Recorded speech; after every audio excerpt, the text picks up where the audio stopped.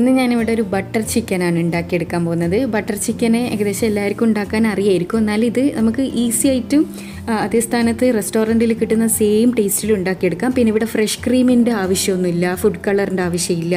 അപ്പോൾ ഫുഡ് കളറും ഫ്രഷ് ക്രീമും ഒന്നും ഇല്ലാണ്ട് തന്നെ നല്ല ടേസ്റ്റി ആയിട്ടുള്ള ബട്ടർ ചിക്കന് വീട്ടിൽ എങ്ങനെ ഉണ്ടാക്കിയെടുക്കുന്നത് എന്നുള്ളത് നോക്കാം.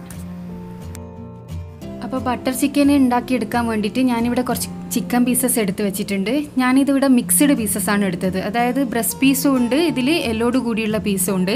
സാധാരണ ബട്ടർ ചിക്കൻ ഉണ്ടാക്കുമ്പോൾ എല്ലാവരും ബ്രസ്റ്റ് പീസസ് മാത്രമാണ് ഉപയോഗിക്കാറ്. പക്ഷേ ഇങ്ങനെ ഉണ്ടാക്കുന്നതാണ് കുറച്ചും കൂടി ടേസ്റ്റ് ആയിട്ട് എനിക്ക് തോന്നിയത്. അപ്പോൾ ഇതിലേക്ക് ഞാൻ ഒരു ടേബിൾ സ്പൂണോളം മുളക് പൊടി ആഡ് ചെയ്ത് കൊടുക്കുന്നുണ്ട്. ഇനി ഇതിലേക്ക് ആവശ്യത്തിനുള്ള ഉപ്പ് ആഡ് ചെയ്ത് കൊടുക്കാം. അതിനുശേഷം അര ടേബിൾ സ്പൂണോളം ഗരം മസാല കൂടി ആഡ് ചെയ്ത് നല്ലവണ്ണം ഒന്ന് മിക്സ് ചെയ്തെടുക്കുക. ഈ മസാല ചിക്കൻ പീസസിന്റെ എല്ലാ ഭാഗത്തും എത്തുന്നത് വരെ കൈകൊണ്ട് നല്ലവണ്ണം മിക്സ് ചെയ്ത് കൊടുക്കണം. നല്ലവണ്ണം ഈ ഒരു മസാല ചിക്കൻ പീസസിൽ പിടിച്ച് നിൽക്കണം. ഇതൊരു അരമണിക്കൂറോളം റെസ്റ്റ് ചെയ്യാൻ വേണ്ടി വെക്കാം നമുക്ക്. ഇനി അടുത്തതായി നമുക്ക് വേണ്ടത് ടൊമാറ്റോ പൂരിയാണ്. ടൊമാറ്റോ പൂരി ഉണ്ടാക്കിയെടുക്കാൻ എല്ലാവർക്കും അറി അറിയായിരിക്കും. ഇനിയിപ്പോൾ ആർക്കെങ്കിലും അറിയില്ല എന്നുണ്ടെങ്കിൽ ഒരു വലിയ പഴുത്ത തക്കാളി എടുക്കുക. ആ ഒരു പഴുത്ത തക്കാളി ഒരു പാത്രത്തിലിട്ടതിന് ശേഷം ആ തക്കാളി മുങ്ങി നിൽക്കുന്ന രീതിയിലുള്ള വെള്ളം പാത്രത്തിലേക്ക് ഒഴിച്ചു കൊടുക്കുക.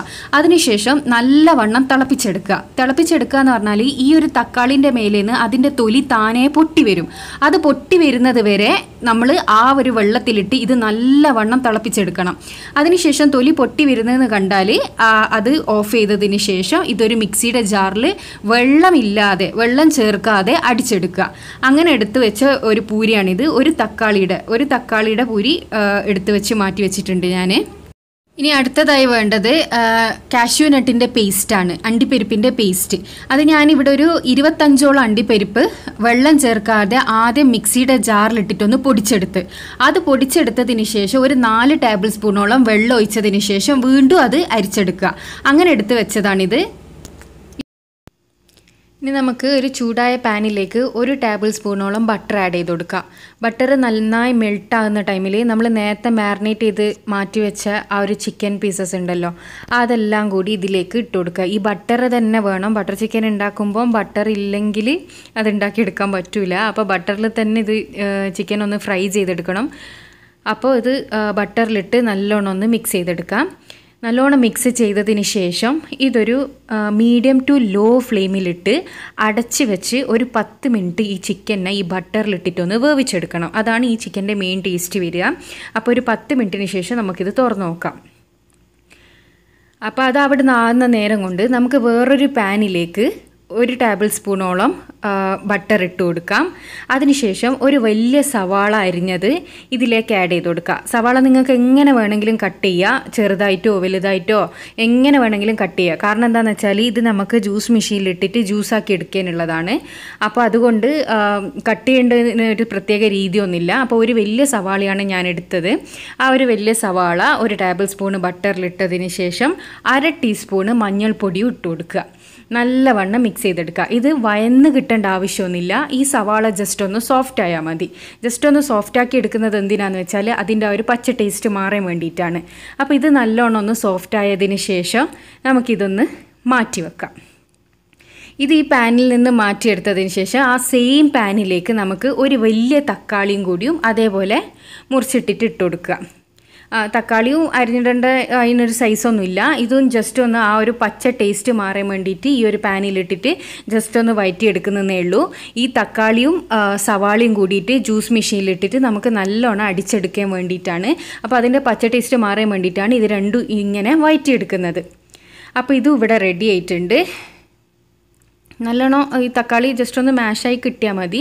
ഇനി ഈ ഒരു സവാളയും തക്കാളിയും കൂടി ഒരുമിച്ച് ജ്യൂസ് മെഷീനിൽ ഒരു രണ്ട് ടേബിൾ സ്പൂൺ വെള്ളം ഒഴിച്ചിട്ട് നമുക്കൊന്ന് അടിച്ചെടുത്ത് മാറ്റി വെക്കണം. പത്ത് മിനിറ്റിന് ശേഷം ഞാനിത് ഓപ്പൺ ചെയ്ത് നോക്കിയിട്ടുണ്ട്. ചിക്കനിൽ കുറച്ച് വെള്ളം ഇറങ്ങിയിട്ടുണ്ട്. ചിക്കൻ നല്ലോണം വെന്തും കിട്ടിയിട്ടുണ്ട്. ഇനി ഈ ബട്ടറിലിട്ടിട്ട് ഈ ചിക്കന് ജസ്റ്റ് ഒന്നും കൂടി ഒന്ന് നല്ലവണ്ണം ഒന്ന് ഇളക്കിയെടുക്കുക. അതിനുശേഷം ഇതിലേക്ക് നമ്മൾ നേരത്തെ വഴറ്റിയിട്ട് അടിച്ചെടുക്കാൻ പറഞ്ഞില്ലേ ആ ഒരു ടൊമാറ്റോന്റെയും സവാളേന്റെയും പേസ്റ്റ് അത് ഇതിലേക്ക് ആഡ് ചെയ്ത് കൊടുക്കണം. നമ്മൾ നേരത്തെ വഴറ്റി മാറ്റി വെച്ച് അടിച്ചെടുത്തതാണിത്. ഇതിലേക്ക് ഞാൻ വെള്ളമൊന്നും ആഡ് ചെയ്തിട്ടില്ല. നമ്മൾ വഴറ്റി വെച്ച ആ ഒരു സവാളയും തക്കാളിയും കൂടി ഇട്ടടിച്ചതാണിത് വെള്ളമൊന്നും ആഡ് ചെയ്യാണ്ട് അടിച്ചെടുത്തതാണിത്. ഇതും കൂടി ഈ ചിക്കനിലിട്ട് നല്ലവണ്ണം ഒന്ന് മിക്സ് ചെയ്തെടുക്കുക. ചിക്കനും ഈ ഒരു മിക്സും കൂടി നല്ലവണ്ണം ഒന്ന് കോട്ടാവണം. അവരെ നല്ലവണ്ണം ഒന്ന് മിക്സ് ചെയ്തെടുക്കുക. ചിക്കനിലെ എല്ലാ ഭാഗത്തും ഈ ഒരു മിക്സിനെ ആക്കിയെടുക്കുക. ഇനി ആ ജ്യൂസ് മെഷീനിലേക്ക് ഒരു നാല് ടേബിൾ സ്പൂണോളം വെള്ളം ഒഴിച്ചതിന് ശേഷം വീണ്ടും ഒന്ന് ഒഴിച്ചു കൊടുക്കുക. ഈ ഒരു വെള്ളം മാത്രമേ നമ്മൾ ഇതിലേക്ക് ആഡ് ചെയ്യുന്നുള്ളൂ. ഇനി എക്സ്ട്രാ വെള്ളമൊന്നും ഇതിലേക്ക് ആഡ് ചെയ്യുന്നില്ല. അപ്പോൾ അതുകൂടി നല്ലവണ്ണം മിക്സ് ചെയ്തതിന് ശേഷം ഇത് ഒന്നുകൂടി നമ്മൾ അടച്ച് വെച്ചൊന്ന് തിളപ്പിച്ചെടുക്കണം. ഒരു അഞ്ച് മിനിറ്റും കൂടിയും ആ ഒരു മസാല ഒന്ന് വേവാൻ വേണ്ടിയിട്ടാണ് ഒരു അഞ്ച് മിനിറ്റും കൂടി ഇത് ഇതേപോലെ ഒന്ന് അടച്ച് വെച്ച് വേവിച്ചെടുക്കുക. അഞ്ച് മിനിറ്റിന് ശേഷം ഞാൻ ഇത് ഓപ്പൺ ചെയ്ത് നോക്കിയിട്ടുണ്ട്. നല്ലവണ്ണം തിളച്ചിട്ടുണ്ട്. ഇനി ഇതിലേക്ക് നമ്മൾ നേരത്തെ തയ്യാറാക്കി വെച്ച ആ ഒരു ടൊമാറ്റോ പൂരി ഉണ്ടല്ലോ അതും കൂടി ആഡ് ചെയ്ത് നല്ലവണ്ണം ഒന്ന് മിക്സ് ചെയ്തെടുക്കുക. ഇനി ഈ ടൊമാറ്റോ പൂരി ഒന്ന് തിളപ്പിച്ചെടുക്കണം. അതിന്റെ ആ ഒരു പച്ച ടേസ്റ്റും കൂടി മാറ്റിയെടുക്കാം. അതും കൂടി ഒരു അടച്ചു വെച്ച് വേവിക്കേണ്ട ആവശ്യമൊന്നുമില്ല. ഒരു മൂന്ന് മിനിറ്റ് അതൊന്ന് തിളച്ചാൽ മതി. ഇതിപ്പോൾ ഇവിടെ ഇതാ നല്ലവണ്ണം തിളച്ച് കിട്ടിയിട്ടുണ്ട്. ഇനി ഇതിലേക്ക് നേരത്തെ തന്നെ തയ്യാറാക്കി വെച്ചിരിക്കുന്ന ആ ഒരു കാഷ്യൂവിന്റെ പേസ്റ്റ് അതും കൂടി ആഡ് ചെയ്ത് കൊടുക്കുക.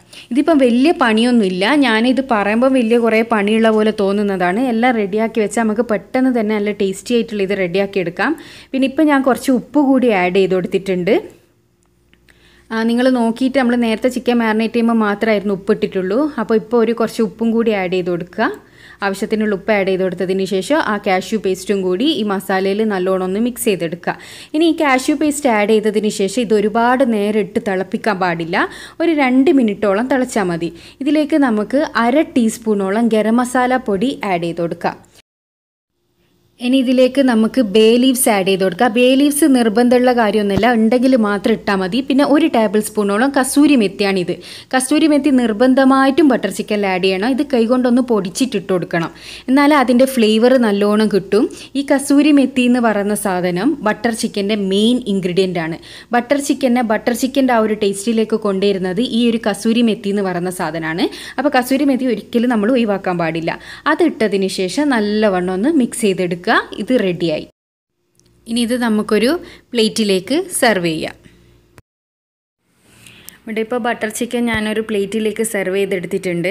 ഇതിലിപ്പോൾ ഫ്രഷ് ക്രീമോ കളറോ ഒന്നും ഞാൻ യൂസ് ചെയ്തിട്ടില്ല. അപ്പോൾ എല്ലാവരും ഇതേപോലെ ഒന്ന് ട്രൈ ചെയ്ത് നോക്കാം. ഇത് വളരെ ഈസി ആയിട്ടുള്ള മെത്തേഡിലാണ് ഉണ്ടാക്കിയെടുത്തതും. അപ്പോൾ റെസ്റ്റോറന്റിൽ കിട്ടുന്ന സെയിം ടേസ്റ്റുള്ള ബട്ടർ ചിക്കനാണിത്.